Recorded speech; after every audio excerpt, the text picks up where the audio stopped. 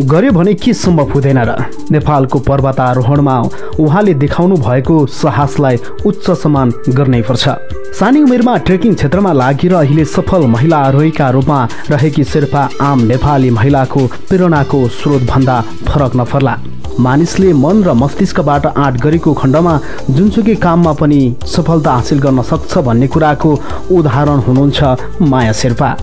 जो सानै उमेरमा चुनौतीपूर्ण मानेको ट्रेकिङ क्षेत्रमा लागेर आम नेपालीको लागि उदाहरणीय पात्र बन्न सफल हुनुभएको छ। बिना अक्सिजन चोयो हिमाल आरोहण गर्ने पहिलो महिला बन्नेदेखि माउन्ट केटु हिमाल आरोहण गर्ने पहिलो नेपाली महिला दलको सदस्यसम्मको सौभाग्य पाउनु भएकी शेर्पाले ट्रेकिङ गाइडदेखि चुनौतीपूर्ण बाइसवटा हिमाल आरोहण गर्दासम्मको अनुभव द शेर्पा टाइम्सको आज मेरो कथाको श्रृङ्खलामा। काशीदिले नमस्ते म माया शेर्पा। मेरो जन्मस्थल चाहिँ ओखलडुङ्गा जिल्ला। पहिला चाहिँ पातले गाविस र अहिले चाहिँ खिन्जिदेमा गाउँपालिका वार्ड नम्बर हिपाल मेरो बुवाको नाम चाहिँ पासाङ वाङ शेर्पा आमाको नाम एङ्जी शेर्पा। मेरो जन्म चाहिँ दुई हजार चौतिस सालमा ओखलडुङ्गा जिल्लामा भएको हो। र म चाहिँ एउटा आरोही प्लस पर्यटन व्यवसायी हुँ। म जन्मेर मेरो विचारमा लगभग छ सात वर्ष गाउँमा बस्यो होला। पाँच छ वर्ष जति बस्यो होला होइन? त्यसपछि मेरो ड्याडी चाहिँ त्यो मेरो ड्याडी चाहिँ के हुनुहुन्थ्यो भने त्यो रोडहरूको ठेकेदार रोडहरू ठेकदार गर्नुहुन्थ्यो होइन? अनि त्यसपछि त्यो रोडको रोड बनाउने सिलसिलामा ठेकदारको कामको सिलसिलामा त्यहाँबाट हामी धुन्चे सेब्रुबेसी मुभ भएको थियो सानोमा होइन? त्यहाँ पनि बसेँ दुई चार वर्ष। त्यसपछि फेरि हुँदै काठमाडौँ आउ त्यहाँ उहाँको काम सकेपछि काठमाडौँ आयो हामी। र काठमाडौँ आइसकेपछि होल फ्यामिली चाहिँ गाउँमा फेरि जानुभयो उतै बस्नुभयो अनि म चाहिँ यहाँ मेरो पक्षे मेरो ठुलबासँग बस्न थालेँ र यहीँ पढ्न थालेको। र बिचबिचमा म गाउँमा पनि जान्थेँ बुवा मम्मीलाई भेट्नलाई होइन? अनि यता पनि आउँथेँ उता पनि बस्थेँ त्यसरी नै मेरो बाल्यकाल बित्या। हो सानोमा आफ्नै गाउँमा चाहिँ एक दुई क्लाससम्म पढेँ त्यतिखेर स्कुल पनि राम्रो थिएन गाउँमा होइन? एउटा गोठ टाइपको मेरो बुवाले नै त्यतिखेर मेरो बुवा नै त्यहाँको चाहिँ अध्यक्ष गाउँको अध्यक्ष हुनुहुन्थ्यो होइन? उहाँले चाहिँ छोरी मान्छेहरूलाई पनि स्कुल पढाउनु पर्छ भन्दाखेरि चाहिँ त्यहाँको गाउँको मान्छेहरूले कतिले चाहिँ छोरी मान्छेलाई एजुकेसन चाहिँदैन र पढाउनु पर्दैन। उनीहरू घर व्यवहार गरेर खाने मान्छेलाई एजुकेसनको खासै जरुरत पनि छैन भन्ने कुराहरू गर्थ्यो गाउँमा होइन? र कतिपयले हाँस्थ्यो पनि अनि र बुवाले चाहिँ होइन छोरी मान्छेलाई पनि स्कुल पढाउनुपर्छ गर्नुपर्छ। छोरी मान्छेको पनि छोरी मान्छेले धेरै अगाडि बढ्न सकिन्छ भन्ने कुराहरू गर्दाखेरि गाउँको कतिपय मान्छेले तिम्रो छोरीले के नै गर्छ र हेरौँ न हामी पनि भनेको कुराहरू पनि मैले सुने सुनेको थियो होइन। त्यस त्यसै कारणले गर्दाखेरि बुवाले अझ छोरी मान्छेलाई अगाडि बढाउनुपर्छ भने जहिले सपोर्ट गर्नुभएको छ। र म यहाँसम्म पुग्नुको मेन हात पनि बुवाकै छ भनौँ न। बुवाले हरेक स्टेपमा सपोर्ट गर्नुभयो होइन। त्यसै कारणले गर्दाखेरि त्यतिखेर स्कुल नभएको र अनि बुवाको कामको सिलसिलामा चाहिँ हामी धुन्चे सेप्रोबेसी पुगेर त्यहाँ चाहिँ स्कुल थियो त्यतिखेर हामी मेरो दिदी हामीहरू भाइहरू थियो होइन। अनि हामीहरू चाहिँ दुई तिन क्लाससम्म चाहिँ मैले त्यहीँ धुन्चेमै पढ्ने मौका पाएँ। र त्यसपछि फेरि बुवाको काम सकेपछि काठमाडौँ मुभ हुनुभयो। अनि म चाहिँ यहाँ मेरो ठुल्बासँगै बसेर चाहिँ मैले यहाँ काठमाडौँमा चाहिँ पढ्ने मौका पाएर बुवाहरू सबैजना गाउँ फर्किनु भयो होइन? र त्यसले गर्दाखेरि मैले काठमाडौँमै चाहिँ टुवेल्भसम्म चाहिँ पढ्ने मौका पाएँ र त्यसपछि काम खोज्दै जाँदाखेरि अनि ट्रेकिङ पेसा नै मैले बेस्ट लागेर देखेर मैले ट्रेकिङ पेसालाई अँगालेको हो। किनभने मलाई चाहिँ एकदम ट्राभलिङ गर्ने ठाउँ हेर्ने मान्छे भेट्ने मान्छेसँग इन्ट्रेक्ट गर्ने कुराहरू सिक्ने होइन। त्यो कुराहरू चाहिँ मलाई एकदम मनपर्ने प्राकृतिक पनि मलाई त्यो भनौँ न एकदम प्रेमी भएको हुनाले चाहिँ मलाई त्यो अफिसभित्र बस्ने चौकी काम गर्ने त्यो काम चाहिँ मलाई एकदम गाह्रो जस्तो लाग्थ्यो। होइन मान्छेले भन्थ्यो कि यस्तो हिमाल जाने गाह्रो होइन ट्रेकिङ जाने गाह्रो यत्रो दिन दिन हिँड्नुपर्छ यस्तो भन्थ्यो। अनि मैले त कतिपय साथीहरूलाई भने तिमीहरू अफिसमा पस्ने चाहिँ झन् गाह्रो लाग्छ मलाई होइन? मलाई चाहिँ तिमीहरू काम गाह्रो लाग्छ तिमीहरूलाई मेरो काम गाह्रो लाग्छ होला भनेर मैले साथीहरूलाई पनि भन्थेँ होइन? तर हामीले चाहिँ कामको साथसाथै इन्जोय पनि धेरै गर्थेँ धेरै कुराहरू सिक्थेँ। त्यसै कारणले गर्दाखेरि मलाई यो पेसा चाहिँ एकदम राम्रो लागेको र मेरो ड्रिम भनेको चाहिँ वर्ल्ड टुर गर्ने पहिला आफ्नो देश घुम्छु त्यसपछि छर छिमेकीको देश घुम्छु र संसार घुम्छु भन्ने मेरो सपना थियो। त्यो चाहिँ मेरो एकदम ठुलो सपना थियो होइन? त्यसै कारणले गर्दा त्यो सपनालाई पछ्याउँदै गएँ मैले। जाँदाखेरि मैले नभन्दै मेरो फर्स्ट यात्रा भनेको टिबेट होइन? मेरो फर्स्ट पासपोर्टमा फर्स्टचोटि भिजा लागेको टिबेटको पासपोर्टको भिजा लागेको पासपोर्टमा टिबेटको भिजा लागेको थिएँ होइन? अनि त्यसपछि मैले मेरो मेरो फ्यामिलीहरूलाई मेरो उहाँहरूलाई थाहा थियो नि त मेरो भाइ बहिनीहरूलाई मैले त्यो पासपोर्टको भिजा देखाएर मैले त्यो नाचेको थियो क्या म लगेर मेरो फर्स्ट भिजा लाग्यो मेरो पासपोर्टमा होइन। अब मेरो संसार घुम्ने सपना पुरा हुँदैछ भनेर मैले भन्थेँ कि अनि उनीहरू हाँस्थ्यो अनि ल ल ल भइहाल्यो नि त ल भन्थ्यो अनि नभन्दै मैले त्यसपछि विभिन्न देशहरू घुम्ने मौका पाएँ कि। अनि अब हुँदै युरोप अमेरिका एसियन कन्ट्रीहरू धेरै घुमेँ होइन। मेरो सपना पनि पुरा भयो र त्यो म अझै पनि सम्झिन्छु। मेरो फर्स्ट टाइम भिजा मेरो पासपोर्टमा टिबेटको भिजा लागेको र मैले मेरो भाइ बहिनीहरूसँग सेयर गरेको होइन। त्यो म सम्झिन्छु। यसरी नै यात्राहरू अगाडि अगाडि अगाडि बढ्दै गएँ। मेरो पर्वतारोहण जर्नी भन्नाले मैले टु थाउजन्ड वानदेखि ट्रेकिङ गाइड गर्न सुरु गरेको थिएँ होइन। र टु थाउजन्ड वानदेखि मैले विभिन्न ठाउँहरू घुम्ने मौका पाएँ र ट्रेकिङकै सिलसिलामा घुम्दै जाँदाखेरि विभिन्न हिमालका बेस क्याम्पहरूमा म पुग्न सफल भएँ होइन जस्तै एभरेस्ट पुमरी मनासुलु बेस क्याम्पहरूमा म पुग्न सफल भएँ। त्यसरी पुग्दाखेरि इन्टरनेसनलबाट चाहिँ धेरै महिलाहरू आउने नेपालको हिमालहरू चढ्ने गर्दो रहेछ होइन? त्यतिखेरसम्म मलाई हिमालको बारेमा केही पनि थाहा थिएन। थाहा थिएन भन्नाले क्लाइम्बिङको बारेमा खासै थाहा थिएन होइन? म हिमाल चढ्नुपर्छ भन्ने मैले सोचेको पनि थिएन।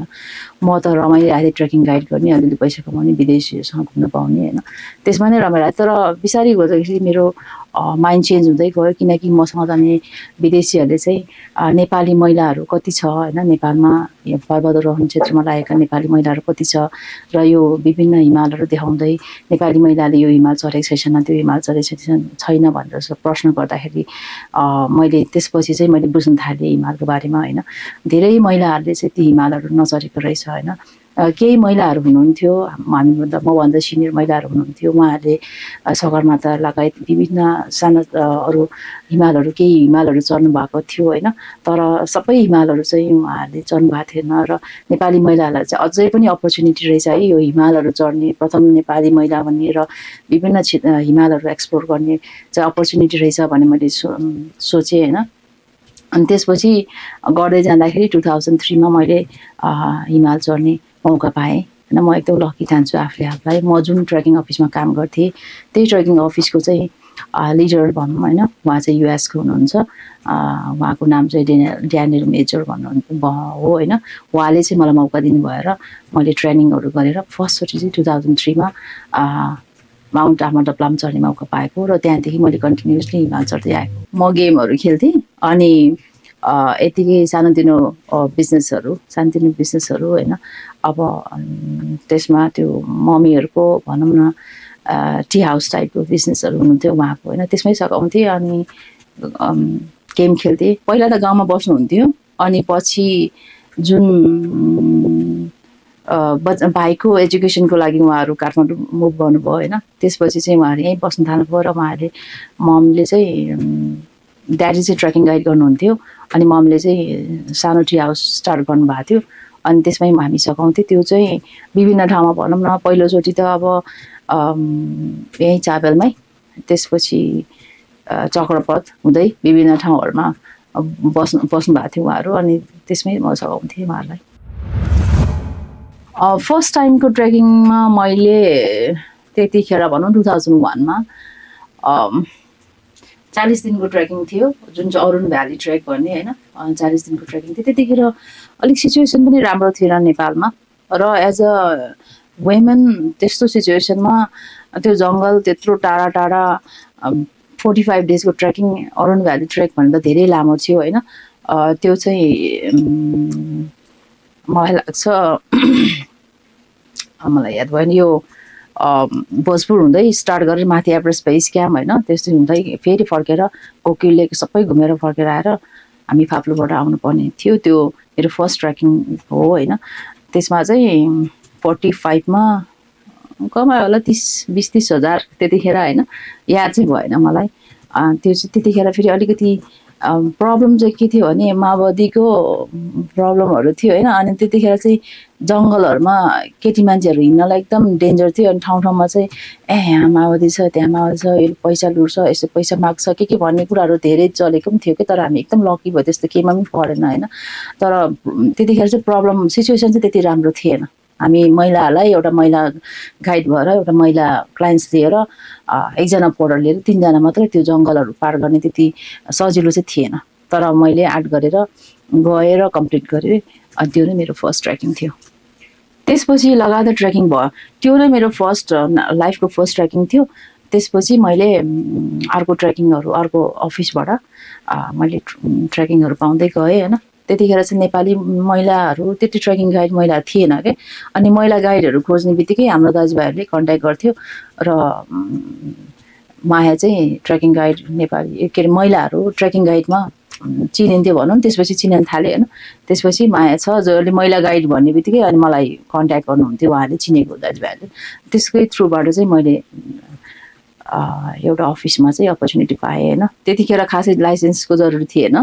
अनि लाइसेन्स चाहिँ मैले पछि लिएको। पछि गर्दै जाँदाखेरि मैले क्लाइम्बिङको ट्रेनिङहरू लिएँ एडभान्स बेसिकहरू लिएँ र trekking guide trekking trekking guide training पनि लिएँ। त्योभन्दा अगाडि चाहिँ मैले लिडरसिप वुमेन लिडरसिप ट्रेनिङ एउटा गरेर लाइसेन्स लिएको थियो होइन। ट्रेकिङ गाइड ट्रेकिङ ट्रेनिङ चाहिँ पछि लिएर गाइड लाइसेन्स पनि पछि लिएको।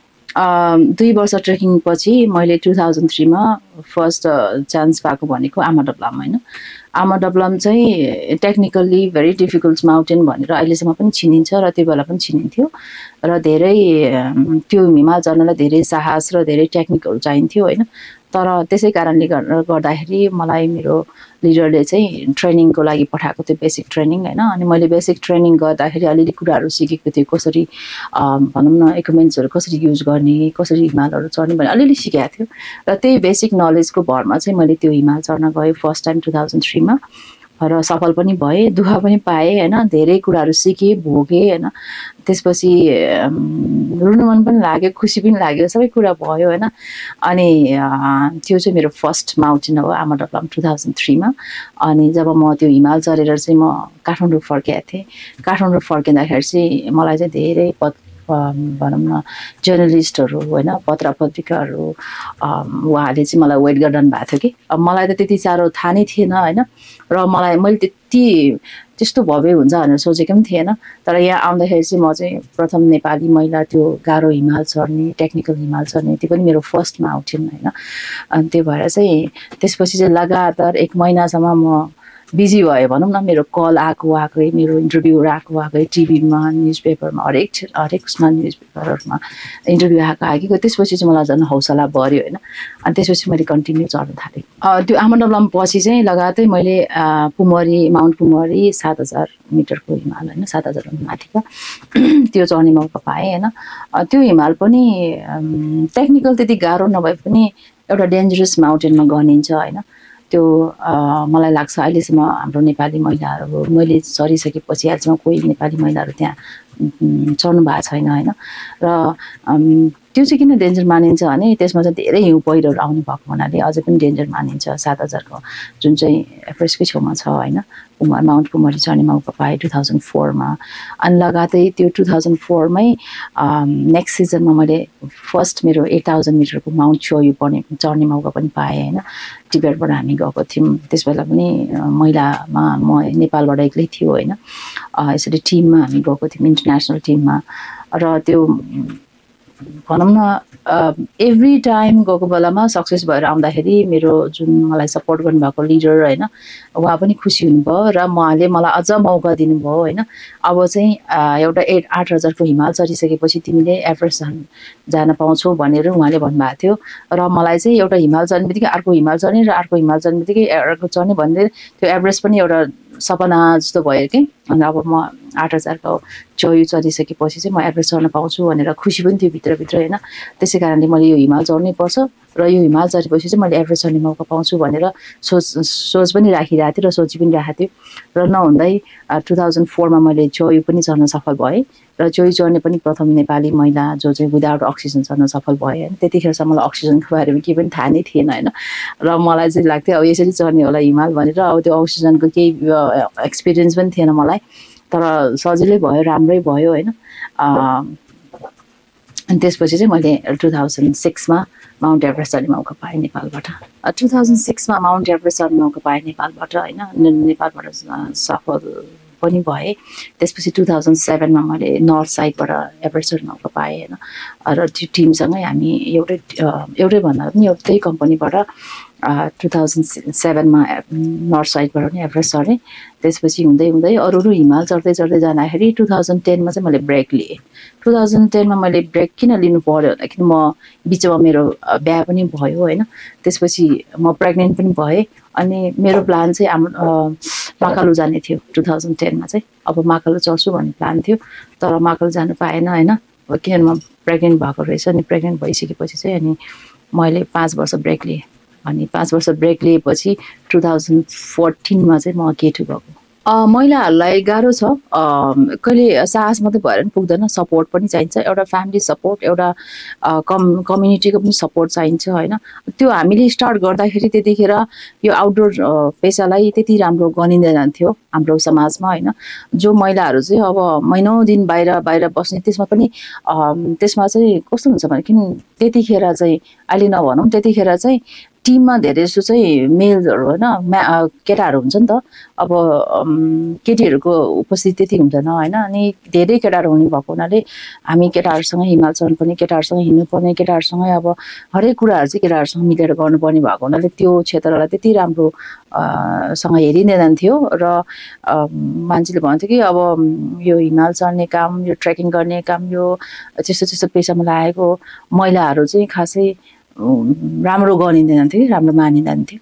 तर हामीले चाहिँ त्यो कुराहरूलाई चाहिँ अनदेखा गरेर चाहिँ यो पेसा पनि राम्रो छ। किन त्यो त राम्रो नराम्रो आफूमा डिफेन्स हुने हो र आफ्नो लक्ष्यलाई चाहिँ लिएर अगाडि बढ्ने हो।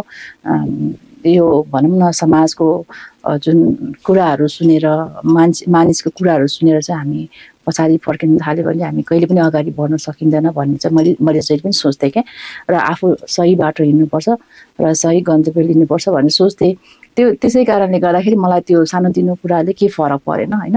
भन्नु त मान्छेले भन्थे अब यो पेसा राम्रो छैन अब धेरै केटाहरूको बिचमा हिँड्नुपर्छ महिना दिन कहाँ कहाँ घरबाट बाहिर जानुपर्छ यो खास राम्रो होइन राम्रो पेसा होइन केटी मान्छेको महिलाहरूको लागि राम्रो होइन भन्थे तर अहिले आएर चाहिँ धेरै चेन्ज भएको छ होइन? धेरैले बुझ्ने भएको छ। र यो कतिपय महिलाहरूले यसलाई आफ्नै पेसाहरू पेसा सम्झेर अगाडि बढिरहेछ र राम्रो सपोर्ट पनि मेल क्लाइम्बर्सहरूबाट इन्टरनेसनल नेसनल आफ्नो सबै सहयोगीबाट पाइरहेछ होइन? अहिले चाहिँ धेरै चेन्जेस भइसक्यो। अहिले अहिले स्टार्ट गर्ने महिलाहरूलाई धेरै सहज भएको छ। त्यो बेला हामीले स्टार्ट गर्दाखेरि कतिपय ठाउँहरूमा होटेल पनि हुँदैन थिए। होइन सानो सानो सिम्पल सिम्पल टी हाउसेसहरू हुन्थ्यो।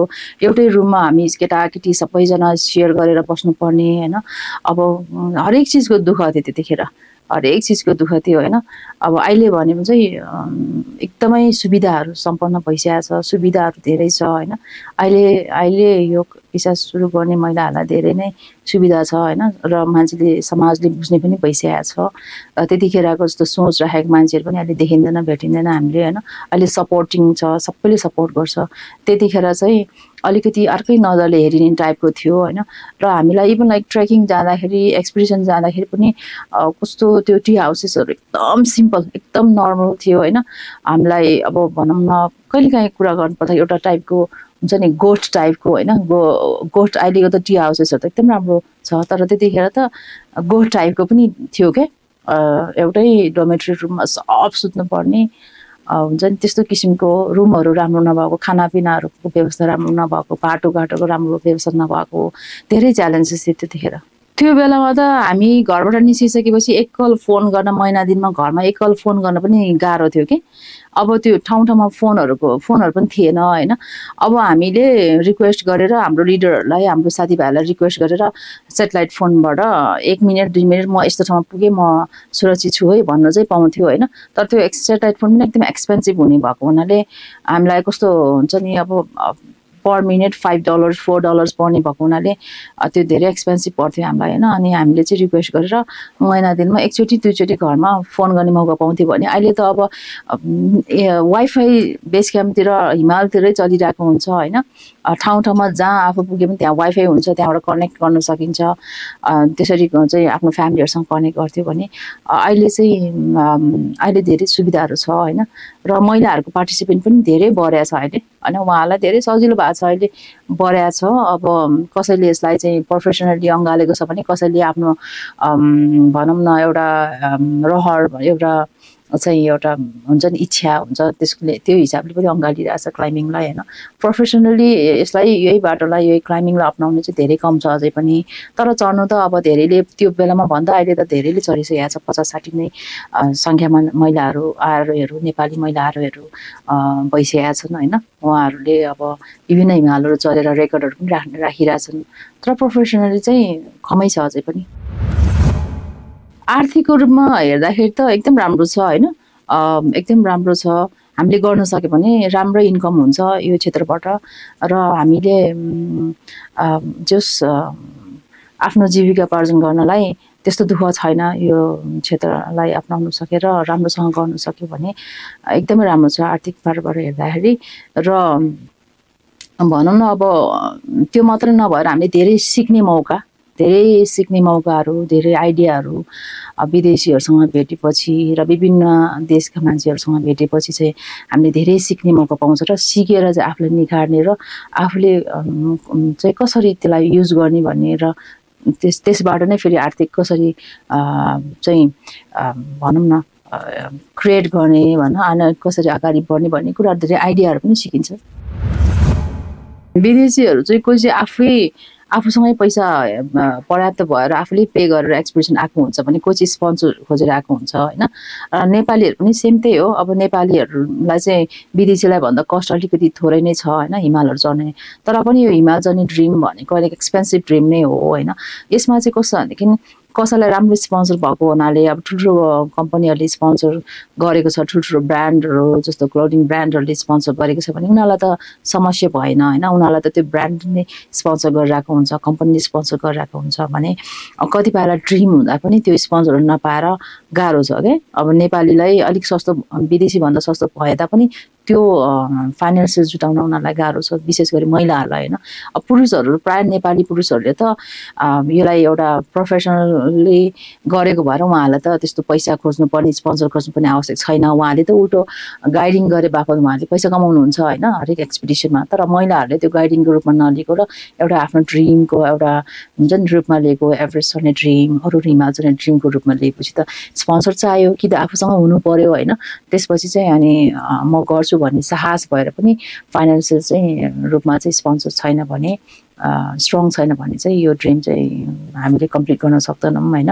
र विदेशीहरू त अब मैले भनिहालेँ कसैले घरै बेचेर आउँछ आफ्नो सपना साकार गर्नुको लागि हिमाल चढ्नुको लागि भने कसैको चाहिँ अब ठुल्ठुलो कम्पनीहरू हुन्छ त्यही कम्पनीबाट स्पोन्सरहरू गरेको हुन्छ होइन। यसरी नै चलाउँछ। यस्तो छ अब त्यो बेलामा चाहिँ एक्सपिडिसन पनि थोरै आउँथे होइन? अनि एकदमै भनौँ न त्यस्तो लग्जरिस फेसिलिटिजहरू थिएन जुन बेस क्याम्पतिर होइन जुन मैले भने जाँदाखेरि नै स्टार्ट गर्दाखेरि नै बाटोदेखि नै टी हाउसेसहरू एकदम सिम्पल हिँडेर उनीहरू बेस क्याम्प पुग्थे। बेस क्याम्प पुगेपछि पनि टेन्टहरू एकदम सिम्पल हुन्थ्यो होइन हिमालमा पनि सिम्पल हुन्थ्यो खानाहरू पनि सिम्पलै हुन्थ्यो। भने त्यतिखेर त अब क्यारोसिन युज गर्ने स्टोभ बाल्ने होइन। डाइनिङमा क्यान्डल बालेर बस्ने मलाई याद छ कि मेरो फर्स्ट एक्सपिडिसन जाँदाखेरि पनि हामीहरू डाइनिङमा बस्दाखेरि पनि एउटा सानो चेयर प्लास्टिक चेयर हुन्थ्यो। त्यसमा बस्थेँ होइन। मुनि चाहिँ सबै आइसहरू पग्लिरहेको पानीहरू बगिरहेको खुट्टाहरू तल मुनिबाट चिसो भइरहेको होइन। जिउहरू पुरा काँपिरहेको। अनि टेबलमा चाहिँ हामीले क्यान्डल युज गरेर क्यान्डल बालेर अनि किचन सिम्पल किचन अनि त्यसमा पनि स्टोभहरू बालेर त्यसरी एक्सपिडिसन गर्थ्यो भने अहिले त त्यस्तो छैन होइन। अहिले त धेरै लग्जरी भइसकेको छ होइन? अब भनौँ न कसैलाई लग्जरी मनपर्छ भने कसैलाई त्यही किसिमको ट्रेडिसनल क्लाइम्बिङ गर्ने चाहिँ वेहरू मनपर्छ होइन? अझै पनि कति क्लाइम्बरहरूले त्यहाँ जुनै कुरा पनि दुःख गरेर पाएको दुःख गरेर प्राप्त गरेको हरेक फलहरू चाहिँ एकदमै इम्पोर्टेन्स र एकदम राम्रो फिल पनि हुन्छ होइन? मैले यति दुःख गरेर एभरेस्ट चढेँ एभरेस्ट चढ्नलाई यति दुःख हुँदो रहेछ एभरेस्ट मात्रै नभएर अरू हिमालहरू चढ्दाखेरि यति दुःख हुँदो रहेछ। त्यो दुःखहरू भोग्ने फिल गर्ने त्यो त्यतिखेर त्यो हुन्थ्यो भने अहिले छैन क्या अहिले एकदम लग्जरी टक्क होइन? बेस क्याम्पसम्म हेलीमा गयो चट्ट पुग्ने बित्तिकै चाहिँ पुरा चाहिँ होइन? क्याम्पहरू पनि त्यस्तै होइन? अब कफी सफी अब फ्रेस कफीहरू सर्भ हुने पुरा टेन्टभित्र पस्दै हिटिङ सिस्टमहरू होइन? अनि सुत्दाखेरि पनि अब हिटिङ बेडहरू तर त्यसको लागि कस्ट अलिकति बढी नै लाग्छ कस्ट बढी तिरै नै हुन्छ विदेशीहरूले होइन? त्यो एउटा सुविधाको लागि एक्स्ट्रा पे त गरे हुन्छ।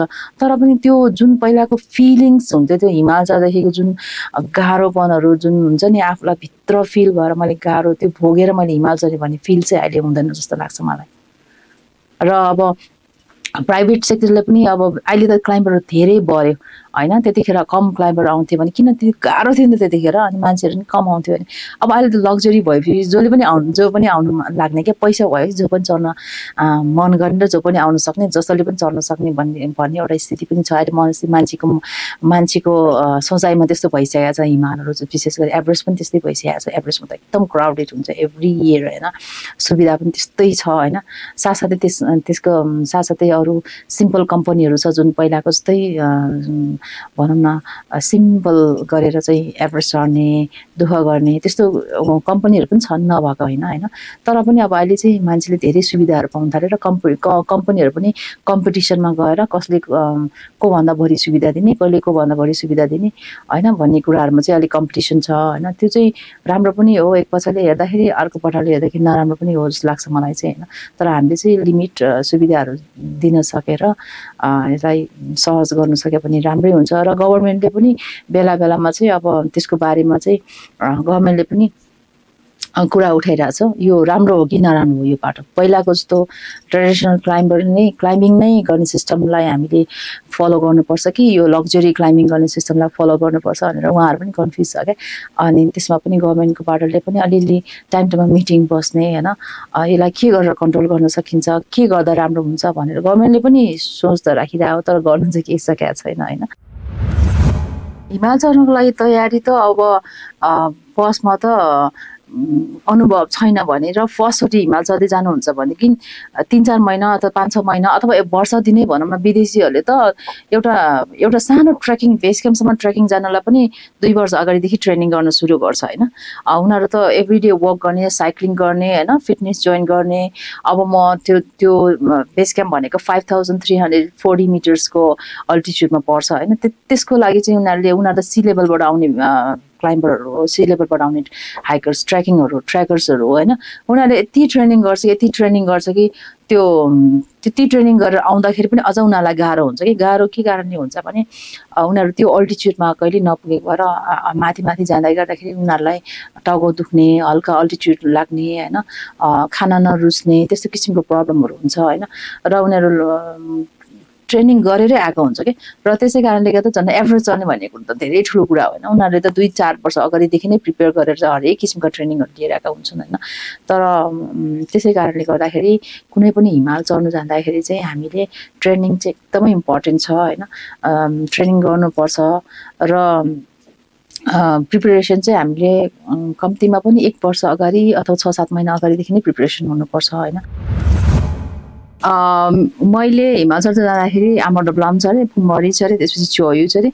चोयु चढ्ने क्रममा चाहिँ मेरो हस्बेन्डसँग भेट भयो। अनि टु थाउजन्ड फोरमा अनि त्यसपछि फाइभ सिक्समा पनि हामीसँगै अरू अरू हिमालहरू पनि चढ चढ्ने मौका पाएँ होइन? चढेँ पनि।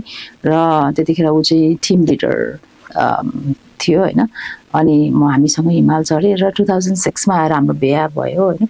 किनभने अब महिला भइसकेपछि हाम्रो समाजमा फेरि उमेर अलिकति पुगिसकेपछि विवाह गर्नुपर्छ भन्ने सबैजनाले होइन अब चाहिँ विवाह वैवाहिक जीवन बिताउनुपर्छ आवश्यकता छ भन्ने कुराहरू पनि आउन थालिसकेपछि अनि विभिन्न ठाउँबाट कुराहरू पनि आउन थालिसकेपछि चाहिँ अनि मैले त्यसपछि विवाह गर्ने निर्णय गरेर चाहिँ टु थाउजन्ड सिक्समा आफ्नै क्षेत्रको आफ्नै एउटै भनौँ न क्लाइम्बिङ क्षेत्रको मान्छेसँग विवाह भयो भने मैले विवाहपछि पनि धेरै हिमाल चढ्नलाई सपोर्ट पाउँछु होला र चढ्न सक्छु होला जसले चाहिँ आफूलाई बुझ्छ क्लाइम्बिङलाई बुझ्छ होइन।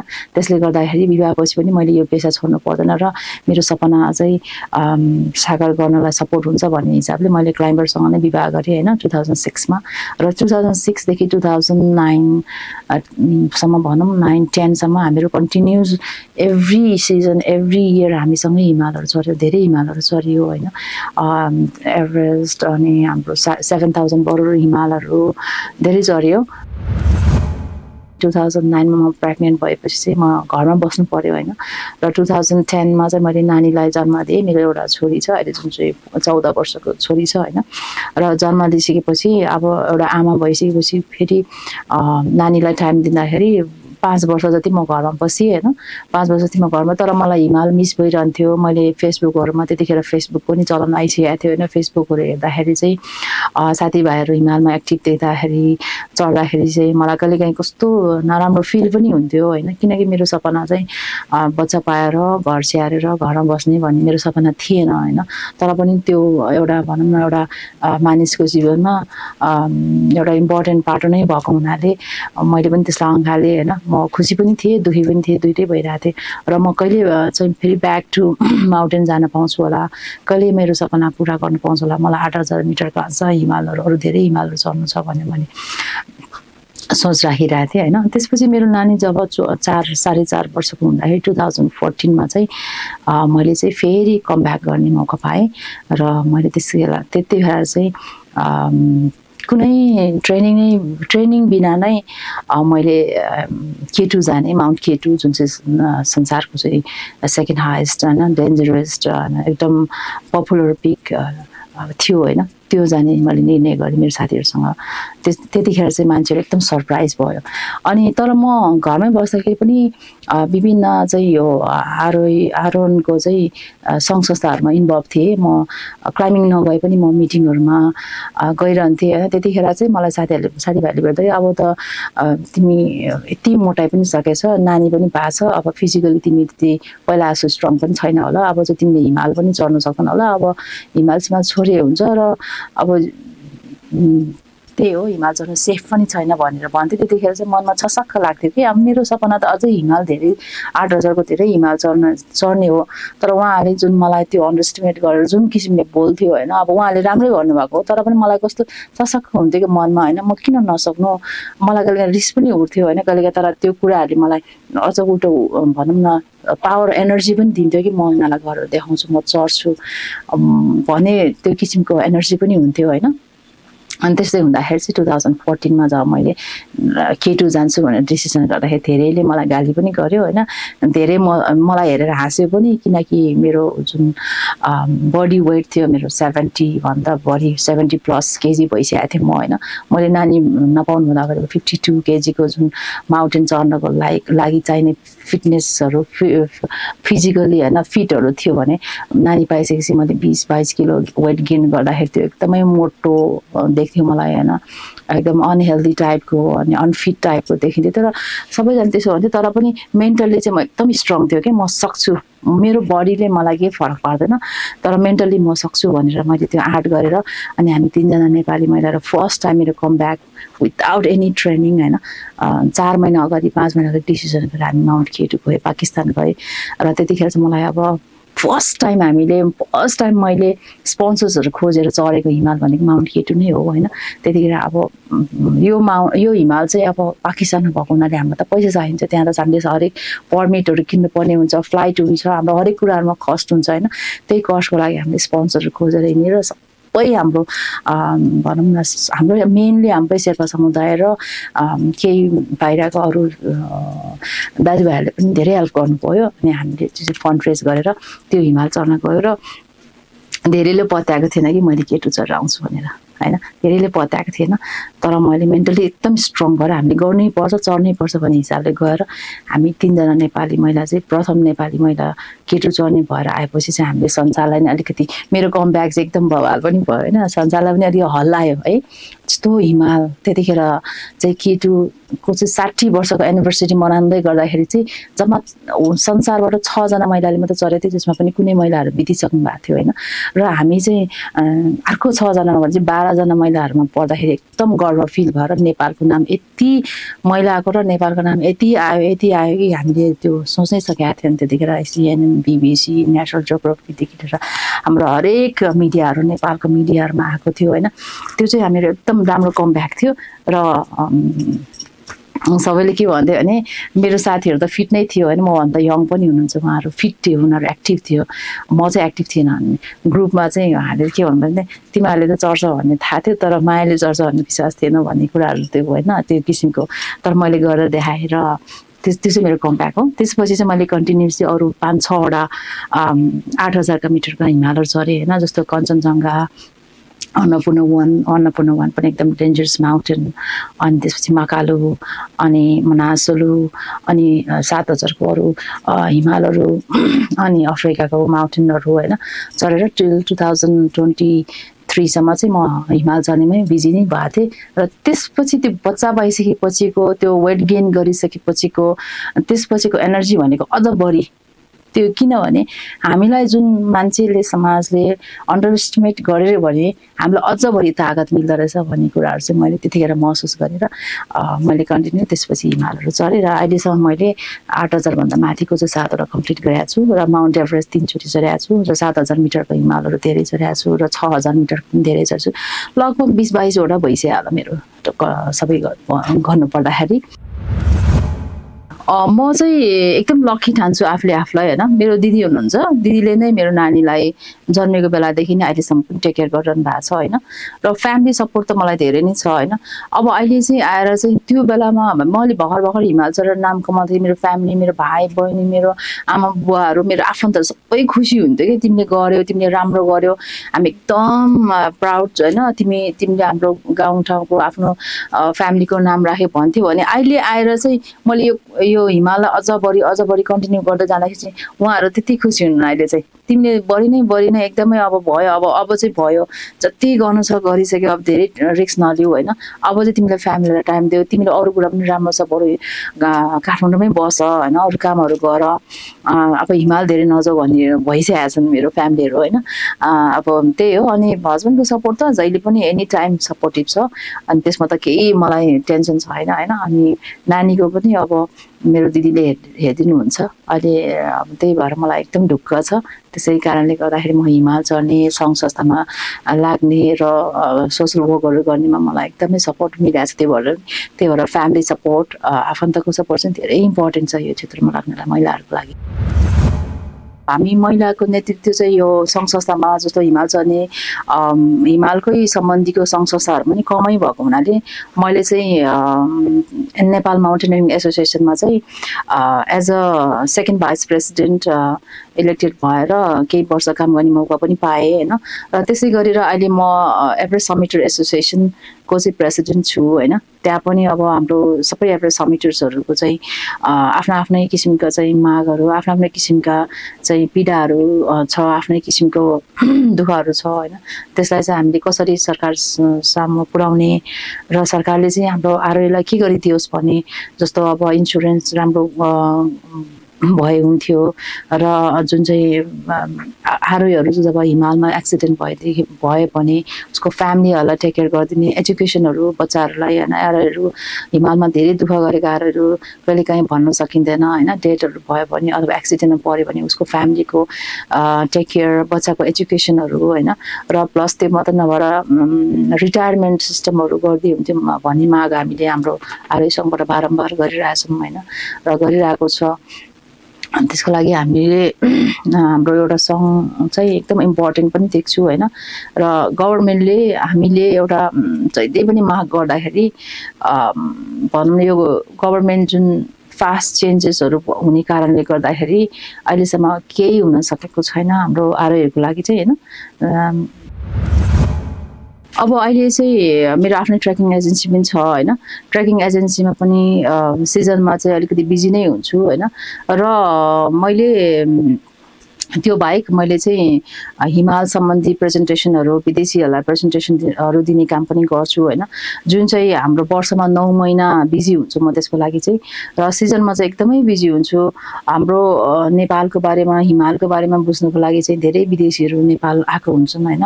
उहाँहरूलाई चाहिँ हिमालको बारेमा बुझाउने विशेष गरेर महिला आरोहरूको बारेमा बुझाउने र आरोहरूको चाहिँ उनीहरूको एउटा इच्छा हुन्छ कि नेपाली कुनै जसले चाहिँ माउन्ट एभरेस्ट चढेको छ त्यो समिटर्सहरूलाई भेट्ने उनीहरूसँग एक्सपिरियन्स सेयर गर्ने भन्ने उनीहरूको चाहिँ इच्छा हुन्छ।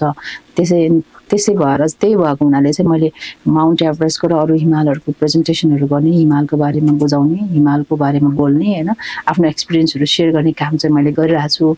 यो चाहिँ वर्षमा हामी लगभग नौ महिना बिजी हुन्छौँ म त्यसको लागि र त्यसमा त्यो मात्र नभएर हामी माउन्टेन फ्लाइटहरू जाने र माउन्टेनहरू देखाउने माउन्टेन सम्बन्धी चाहिँ हामीले उनीहरूलाई भन्ने होइन। क्लाइम्बिङ सम्बन्धी पनि यो काम पनि म यसमा पनि बिजी नै छु। यो पनि गरिरहेको लगभग अब दस बाह्र वर्ष नै भइसक्यो यो काम कन्टिन्यू गरिरहेको र त्यो मात्र नभएर कहिले काहीँ इन्टरनेसनल लेभलमा पनि मलाई अब अफरहरू आयो भने म जान्छु माउन्टेन सम्बन्धी बोल्छु होइन प्रोग्रामहरू एटेन्ड गर्छु। त्यसलाई चाहिँ अब हामीलाई एउटा part time job plus income पनि राम्रै हुन्छ। र त्यो एउटा हामीले जति दुःख गरेछ मेरो लाइफ होल लाइफ मैले बिस वर्ष हिमालमा बिताएको त्यो दुःख छ त्यो एक्सपिरियन्सहरू सुनाउँदाखेरि चाहिँ अहिले एउटा इजी अर्निङ वे भएको छ मेरो लागि होइन? त्यो चाहिँ मैले मैले मेरो अनुभवलाई सुनाएर मैले पैसा कमाएर चाहिँ जस आफ्नो लिभिङलाई मेन्टेन गरिरहेको छु भनौँ न होइन? त्यही भएर त्यो त्यो चाहिँ त्यस्तो त्यो काम चाहिँ मैले कन्टिन्यू गरेको दस बाह्र वर्षै भइसक्यो। मलाई चाहिँ जहिले पनि हलमा चाहिँ महिलाहरू भयो भने चाहिँ कस्तो ढुक्क खुसी लाग्छ कि मेरो मेरो समस्या मेरो प्रब्लमहरू उनीहरूले बुझिदिन्छ जस्तो फिल हुन्छ क्या। अनि मैले प्रेजेन्टेसन गर्दाखेरि जब महिलाहरू धेरै हुन्छ मलाई झन् अझ बढी सुनाउने मौका पाउँछ। किनभने महिलाहरूलाई थाहा छ कि त्यो हामी एउटा महिला भएपछि हामीले हरेक चिज फ्यामिलीदेखि घरकोदेखि लिएर टेन्सनदेखि लिएर त्यो ठाउँमा पुगेर चढ्ने त्यो समय मिलाउने त्यो वातावरण कसरी क्रिएट गर्ने भन्ने कुराहरू सबै त्यो महिलाले चाहिँ फिल गर्छ जस्तो लाग्छ कि। अनि मैले कहानीहरू स्टोरीहरू भन्दै जाँदाखेरि मैले यसरी गरेँ मैले यसरी गरेँ। गरेँ यति बेला यस्तो भयो भने मेरो स्टोरीहरू भन्दाखेरि कतिपय महिलाहरू विदेशी महिलाहरू रोएर मलाई हक गर्छ क्या अनि मलाई कस्तो हुन्छ कि अनि ओहो हुन्छ नि होइन। अनि उनीहरू मलाई थाहा नै हुँदैन उनीहरू रुइरहेको हुन्छ कि मेरो कहानीहरू सुनेर होइन। अनि एकदमै एप्रिसिएट गर्छ एकदमै राम्रो गर्छ होइन। एउटा महिला भएर यस्तो गरेँ किनभने ने भनौँ न नेपाली होस् विदेशी होस् महिलाहरूको समस्या चाहिँ मेरो विचारमा लगभग फोर्टी पर्सेन्ट चाहिँ सिमिलर हुन्छ जस्तो लाग्छ होइन। उहाँहरूले अब आफ्नो घर टेक केयर गर्नु पऱ्यो होइन। आफ्नो फ्यामिली हेर्नु पऱ्यो त्यसपछि त्यसपछि आफ्नो ड्रिम हेर्नु पऱ्यो होइन। त्यसपछि त्यो गर्दै जाँदाखेरि उहाँहरू महिलाहरूले चाहिँ बसी बुझ्छ जस्तो लाग्छ मेरो स्टोरी चाहिँ होइन। अब पुरुषहरूले पनि बुझ्नुहुन्छ पुरुषहरूले पनि एकदम प्राउड फिल गर्नुहुन्छ। तर विशेष गरी रुनिहरूमा चाहिँ मेरो स्टोरी सुनेर रुनिहरू चाहिँ महिलाहरू पर्छ होइन। सो हाम्रो नेपाल यति सुन्दर छ त्यो त्यसमा कुनै दुई मत छैन होइन? त्यसमा पनि हाम्रो माउन्ट एभरेस्ट संसारको सबैभन्दा हाइएस्ट माउन्टेन हाम्रो नेपालमा छ भन्दाखेरि त्यो विदेशीहरूलाई त्यो माउन्ट एभरेस्टको एउटा सानो टुप्पो हेर्नलाई पनि उ त नचरे पनि होइन? फर्स्ट टाइम हामी नाम्ची कटिसकेपछि जब चाहिँ एभरेस्टको माउन्ट एभरेस्टको सानो टुप्पो देख्दैन उनीहरू यति खुसी हुन्छ कि यति आँखाबाट आँसु झार्ने पर्यटकहरू आउँछ कि? र हाम्रो नेपालको चाहिँ त्यो कल्चरहरू देख्दाखेरि अन द वे हामी ट्रेकिङ गर्दै जाँदाखेरि धेरै विभिन्न किसिमका मान्छेहरू भेट्छ विभिन्न किसिमका चाहिँ कल्चरहरू देखिरहेको हुन्छ विभिन्न किसिमका वेशभूषाहरू देखिरहेको हुन्छ। उनीहरू सरप्राइज के? हरेक चिज एभ्री स्टेप उनीहरूले जब ट्रेकिङ जब यहाँ एयरपोर्टमा झर्छ नि त्यहाँदेखि नै हरेक चिज चाहिँ उनीहरूलाई नौलो लाग्छ क्या उनीहरूले हरेक चिजको अनुभव लिइरहेको हुन्छ हरेक कुरा चाहिँ उनीहरूलाई सरप्राइजिङ हुन्छ हरेक कुरा उनीहरूले सिक्ने यति धेरै सिकिरहेको हुन्छ होइन?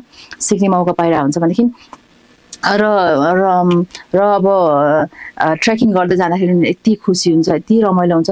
तर अब यसो गर्दै जाँदाखेरि चाहिँ उनीहरू उनीहरूले उनीहरूलाई अलिकति गाह्रो कुरो चाहिँ के छ भनेदेखि कतिपय यस्तो पर्मिटहरूमा होइन पर्मिटहरूमा अनि त्यसपछि जस्तो टाइममा फ्लाइट नभइदिने होइन? अब भिजाको लागि प्रब्लम हुने उनीहरू एयरपोर्टमा झर्ने बित्तिकै चाहिँ भिजाको लागि लाइन कुर्नुपर्ने घन्टौँ घन्टा कुर्नुपर्ने सिस्टमहरू।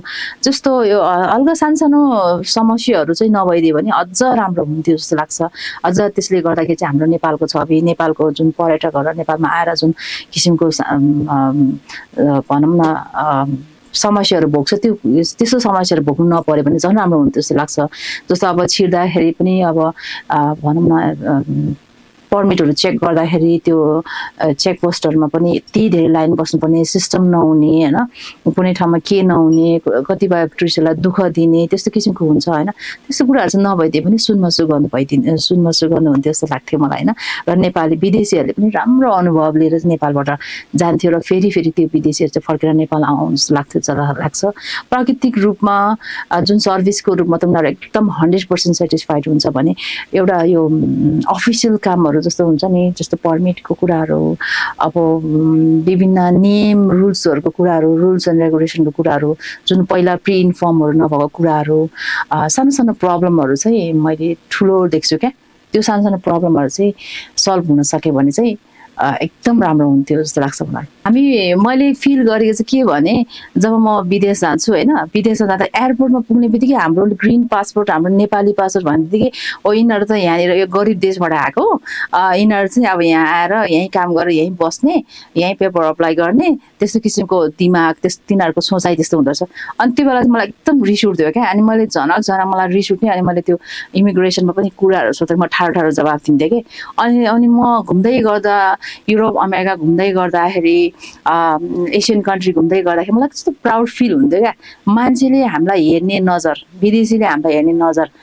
कतिपय कुराहरू त यस्तो कि कुरा गर्दै जाँदाखेरि एउटा सिम्पल कुरा पनि तिमीहरूको देशमा छ भनेर सोध्ने टाइपको क्या। जस्तो अब खाना पनि यो तिमीहरूको देशमा पाउँछ अनि टिभी छ भने टिभी ओहो तिमीहरूको देशमा टिभी छ सोफा भयो भने ओहो यस्तो सोफा तिमीहरूको देशमा हुन्छ भन्ने टाइपको क्वेसनहरू गर्छ क्या।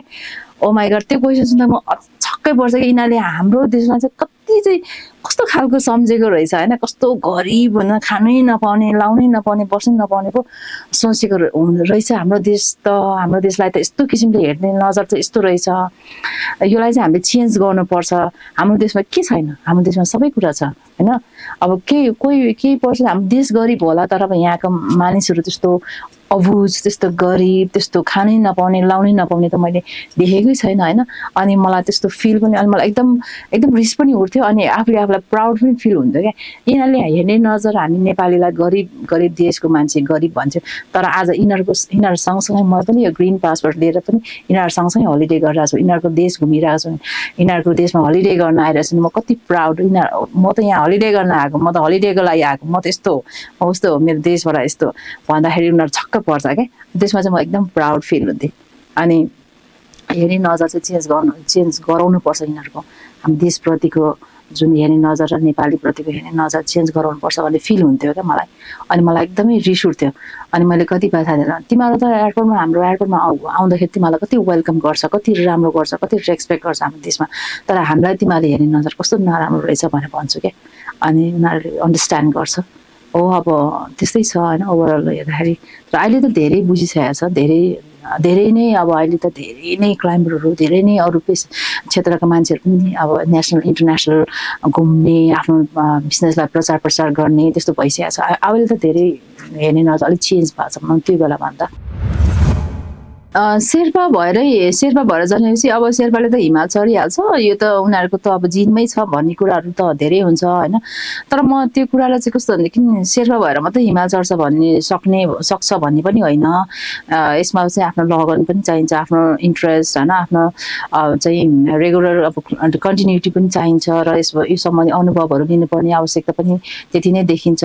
शेर्पाहरूमा अलिकति फाइदाको कुरा चाहिँ के छ भने शेर्पाहरू अल्टिच्युडमा चाहिँ अलिकति एडजस्ट गर्न सजिलो हुन्छ र उनीहरूको जेनेटिकली उनीहरू त्यो पहिलादेखि नै हाम्रो बाउ बाजे उहिले पालादेखि नै हामी एउटा हाई अल्टिच्युडमा हुर्केको भएर हामीलाई चाहिँ अलिकति एडप्ट त्यहाँको एडप्ट त्यो अल्टिच्युडमा एडप्ट गर्न सजिलो हुन्छ र सपोर्ट हुन्छ भन्ने मात्रै हो होइन? तर दुःख त कष्ट शारीरिक शारीरिक रूपमा मेन्टली रूपमा कष्ट दुःख भनेको सबैलाई बराबर हो। शेर्पालाई थोरै हुने अरूलाई धेरै हुने होइन? तर एउटा फाइदा मैले मैले के देखाएको छु भने हामी शेर्पाहरू अल्टिच्युडमा अलिकति एडजस्ट गर्न फास्ट एडजस्ट गर्न सकिन्छ र हाम्रो बनावट हाम्रो जिउको हाम्रो जिनको बनावट त्यसरी बढेको हुन्छ हुने भएको भएर चाहिँ हामी त्यहाँ त्यहाँ माथि माथि जाँदै गर्दा अझ फिट हुने एकदम कम्फर्टेबल हुने होइन? म आफैले पनि फिल गर्छु कहिलेकाहीँ। म यहाँ काठमाडौँमा मेरो साथीहरू जो यहाँकै लोकल बासिन्दा साथीहरूसँग म हिँड्नलाई पछ्याउन सक्दिनँ भने बिस्तारै बिस्तारै अल्टिच्युडमा जाँदै गर्दाखेरि उनीहरू पछाडि पछाडि हुन्छ र म अगाडि अगाडि हुन्छु। म मेरो जिनमा एउटा शेर्पाको जिन छ होइन मलाई अलिकति कम्फोर्टेबल हुन्छ क्या अल्टिच्युडमा म। हतपति अल्टिच्युड नराख्ने हतपति बिरामी नहुने त्यस्तो किसिमको भएर चाहिँ त्यो चाहिँ एउटा फाइदा हो। नत्र भयो अरू त्यो मेन्टल्ली फिजिकली दुःख त सबैलाई बराबर हो। अबको मेरो योजना भनेको अब लगभग होइन यही पेसामा चाहिँ यतिका वर्ष बिताइसकेँ होइन। अबको दिनहरू पनि यही पेसामा चाहिँ म बिताउन चाहन्छु होइन। मेरो जस्तो मेरो अब आफ्नो एजेन्सी छ त्यो मार्फत हुन्छ कि विदेशीहरूलाई नेपालमा लिएर अझ सक्दो बढीभन्दा बढी विदेशीहरूलाई चाहिँ नेपालमा लिएर नेपालको सुन्दरतालाई देखाएर चाहिँ नेपाल यति सुन्दर छ नेपालमा चाहिँ नेपालमा विभिन्न चाहिँ जात जातिका वेशभूषा कल्चर हरेक कुराले चाहिँ हाम्रो नेपाल सुन्दर छ भनेर देखाउन चाहन्छु र साथसाथै चाहिँ सोसल वर्कहरू पनि गर्न चाहन्छु। म आफ्नो क्लाइम्बिङको वेबाट पनि कसरी हुन्छ नेपाललाई नेपाललाई चाहिँ केही बेनिफिट होस् भनेर म यसमा पनि लागि पर्न चाहन्छु। जस्तै म अब कुनै कुनै सङ्घ संस्थाहरूमा इन्भल्भ छु होइन। र यसैको क्रममा चाहिँ हामीले मैले चाहिँ विशेष गरेर महिलाहरूलाई चाहिँ फोकस गरेर वुमेन इम्पावरमेन्ट र वुमेन क्लाइम्बर्सहरू र वुमेन ट्रेकर्सहरूलाई चाहिँ फोकस गरेर अगाडि काम गर्ने मेरो इच्छा छ। त्यसै गरी टु थाउजन्ड ट्वेन्टी फाइभमा चाहिँ हाम्रो बिस पच्चिसभन्दा बढी इन्टरनेसनल वुमेन्सहरूको टिम आउँदैछ नेपाललाई हेर्न पहिलोचोटि होइन। र त्यसमा पनि मैले अर्गनाइज त्यो पनि मैले अर्गनाइज गर्दैछु होइन। जुन चाहिँ एकदम ठुलो कुरा नेपालको लागि र महिलाहरूको लागि विशेष गरेर होइन। त्यसै कारणले गर्दा महिलाहरूसँग मिलेर अझ नेपाललाई प्रमोट गर्ने र कसरी कुन वेबाट जसरी भए पनि नेपाललाई प्रमोट गर्ने र महिलाहरूलाई प्रमोट गर्ने र महिलाहरूलाई चाहिँ अगाडि बढाउने भन्ने चाहिँ मेरो योजना छ विशेष गरेर होइन। र साथसाथै पुरुषहरूलाई पनि वेलकम छ। पुरुषहरूलाई पनि त्यति नै हामीले चाहिँ प्रमोट गर्न सकिन्छ मेरो मेन योजना चाहिँ वुमेन इम्पावरमेन्ट र आफ्नो कन्ट्रीलाई कसरी चिनाउने एज अ वुमेन भनेर चाहिँ त्यसमा चाहिँ म लाग्ने विचार छ मेरो र त्यो प्रोजेक्टहरू पनि हुँदैछ। अब विदेशी महिलाहरू यति धेरै आउँछन् होइन नेपाल हेर्नलाई यति टाढाबाट यति धेरै पैसाहरू खर्च गरेर आउँछन् र त्यसै गरेर चाहिँ हाम्रो नेपाली महिलाहरू चाहिँ किन त्यो ठाउँमा पुग्न नसकेको? नेपाली महिलाहरूलाई किन आफ्नो देशको बारेमा चासो नभएको आफ्नो देश हेर्ने इच्छा नभएको जस्तो पनि लाग्छ। तर उहाँहरूको समय उहाँहरूको अब परिस्थिति सबै कुराले पनि हुनसक्छ होइन? तर म चाहिँ सबै महिलाहरूलाई के रिक्वेस्ट गर्न चाहन्छु भने महिला पुरुष सबै नेपाली हाम्रो नेपालीहरूलाई के रिक्वेस्ट गर्न चाहन्छु भने हाम्रो देश यति सुन्दर छ होइन? टिभीमा मात्रै नहेर्नुहोस् तपाईँ आफ्नो आफै त्यहीँ जानुहोस् हेर्नुहोस् बुझ्नुहोस् आफ्नो देश के हो आफ्नो देशमा के छ कस्तो छ त्यो त्यो बुझ्नुहोस् भन्न चाहन्छु होइन? र आफ्नो देश यति रमाइलो छ सुन्दर छ तपाईँहरू पनि आइदिनुहोस् होइन? ट्रेकिङ गरिदिनुहोस् हिमालहरू हेरिदिनुहोस् बुझिदिनुहोस् भन्न चाहन्छु। अब यो क्षेत्रमा आउन चाहने यङ्स्टर र महिलाहरूलाई चाहिँ म के भन्न चाहन्छु भने होइन अब हामीले जब स्टार्ट गरेँ होइन हामीलाई हामीमा धेरै कुराको अभावहरू थियो होइन जस्तो एजुकेसनको अभाव जस्तो अब मिडियाहरूको अभाव धेरै कुराको अभाव थियो। त्यो त्यो बावजुद पनि हामी यो ठाउँमा आउन सफल भयो भने तपाईँहरूलाई त धेरै अपर्च्युनिटी छ। अहिले अहिले त अहिले त यति तपाईँहरू पढ लेखा हुनुहुन्छ होइन तपाईँहरूको दिमाग यति चल्छ तपाईँहरूले चाह्यो भने र यो क्षेत्रमा आउन चाह्यो भने क्लाइम्बिङ मात्र नभएर टुर ट्रेकिङ त्यस त्यो क्षेत्रबाट तपाईँहरू आउनु भएर तपाईँहरूले आफ्नो दिमागलाई युज गर्नुभयो र यो यति यति फास्ट अहिले यति भनौँ हरेक हरेक कुराहरू जस्तो मिडियाबाट सामाजिक सञ्जालबाट तपाईँले आफ्नो नेपाललाई प्रमोट गर्न सक्नुहुन्छ होइन? अझै पनि हामी कहाँ हामी हामी यति धेरै चाहिँ कुराहरू छ कि जुन हामीले विश्व सामु चाहिँ हामीले प्रमोट गर्न सकेका छैनौँ होइन? त्यसै कारणले गर्दाखेरि तपाईँहरू आउनुभयो भने चाहिँ भविष्य एकदम उज्जवल छ। हामीले अझै पनि विश्व सामु हाम्रो देशको चाहिँ प्राकृतिक सौन्दर्यहरू र हाम्रो परम्परा हाम्रो कल्चरहरू हाम्रो चाहिँ भौगोलिक विविधतालाई चाहिँ अझै पनि हामीले पुर्याउन सकेको छैन जस्तो लाग्छ होइन? र तपाईँहरू जस्तो चाहिँ यङ जेनेरेसनहरूले यङ जेनेरेसनहरू आउँदाखेरि त्यो कुरालाई चाहिँ तपाईँले अझ हामीले भन्दा धेरै चाहिँ प्रमोट गर्न सक्नुहुन्छ जस्तो लाग्छ होइन? त्यसै कारणले गर्दाखेरि यो क्षेत्रमा आउँदाखेरि तपाईँहरूको चाहिँ भविष्य एकदमै उज्जवल छ जस्तो पनि लाग्छ मलाई होइन? नेपालको सम्भावना भनेको मलाई लाग्छ पर्यटक नै हो पर्यटन नै हो होइन? त्यसै कारणले गर्दाखेरि नेपालमै बसेर हामीले डलर कमाउन चाहनुहुन्छ भने विदेशमा धेरै नेपालीहरू विदेशी गएको छ डलर कमाउनुलाई होइन? त्यो चाहिँ दुःख लाग्दो कुरा पनि छ। अहिले धेरै नै यङ जेनेरेसनहरू पढाइसकेपछि के त भने नेक्स्ट स्टेप भनेको विदेशी नै होइन? त्यसै कारणले गर्दाखेरि त्यो त्यो बाटोलाई हामीले त्यो मात्रै ध्यान नदिएर नेपालमै बसेर डलर कसरी कमाउने र नेपाललाई नै प्रमोट कसरी गराउने नेपाललाई नै अगाडि कसरी बढाउने भन्दाखेरि चाहिँ पर्यटन क्षेत्र नै हो जस्तो लाग्छ मलाई। त्यसै कारणले गर्दाखेरि तपाईँहरू आउनुहोस्। यो क्षेत्रमा भविष्य उज्जवल छ। तपाईँले गर्नु सक्नुहुन्छ। तपाईँले गर्नु सक्नुभयो भने नेपालको प्रमोट पनि त्यत्तिकै हुन्छ र नेपालमै बसेर डलर कमाउन सकिन्छ र देश विदेश जाने सपना पनि तपाईँहरूको पुरा हुन सकिन्छ होइन? नेपालमा बसेर डलर कमाउने विदेश घुम्ने। त्यो सपना राखौँ हामी। विदेशमा बसेर डलर कमाउने बुढेसकालमा नेपाल आउने सपना कहिले नराखौँ जस्तो लाग्छ मलाई। यङ जेनेरेसनहरूलाई मेरो यही सुझाव छ। अन्तमा म र मेरा हिमालका छोटा कथाहरू यति नै। मेरो क्लाइम्बिङ अनुभवहरू सुनाउने मौका दिनुभएकोमा द शेर्पा टाइम्सलाई अन्तमा म धेरै धेरै धन्यवाद भन्न चाहन्छु। Thank you टस्टेले